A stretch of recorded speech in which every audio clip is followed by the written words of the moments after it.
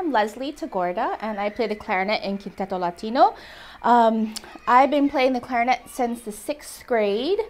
and actually, I started the clarinet because my mom made me, but I actually learned to really love the clarinet because it has like this beautiful, rich, warm sound, and it has a very wide range, meaning it can play really low to really high, and it has this kind of beautiful, happy, sad kind of sound.